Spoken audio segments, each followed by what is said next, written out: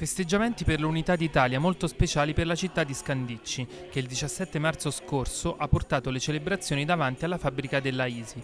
L'azienda vive settimane di tensione visto che i lavoratori sono in stato di agitazione contro i tagli agli incentivi per le energie rinnovabili decisi dal governo. Davanti ai cancelli dello stabilimento, alla presenza di tanti lavoratori e cittadini comuni, si sono alternati il sindaco di Scandicci Simone Gheri, rappresentanti sindacali e uno scatenatissimo Silvano Sarti dell'Ampi. Oggi ci troviamo a festeggiare 150 anni della nostra Italia, del nostro Stato unitario, più correttamente. Siamo qui perché in quella Costituzione, nella nostra Costituzione, all'articolo 1 c'è scritto che la nostra è una repubblica fondata sul lavoro.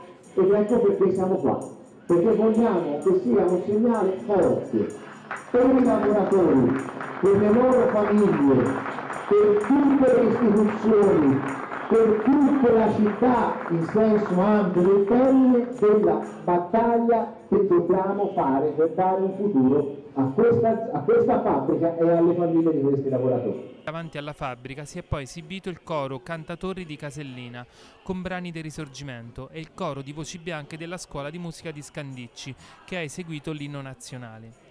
Nel secondo pomeriggio si è tenuta invece la cerimonia istituzionale sulla terrazza pensile del comune il coro di voci bianche della scuola di musica di Scandicci ha ripetuto l'inno nazionale, accompagnato naturalmente dall'alzabandiera, alla presenza di autorità e delle forze dell'ordine.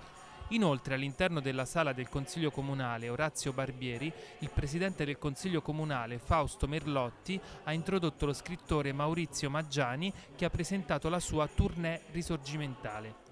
Al termine, per concludere questa importante giornata, si è tenuta l'esecuzione di canzoni del Risorgimento, curata dal coro di canto popolare L'Altro Canto. Il risorgimento degli italiani è una rivoluzione armata, politica, culturale e sessuale. Per la prima volta nella storia di questo paese e nella storia d'Europa, le donne non solo accompagnano, ma sono primi, in prima persona impegnati nel fare politica e nel combattere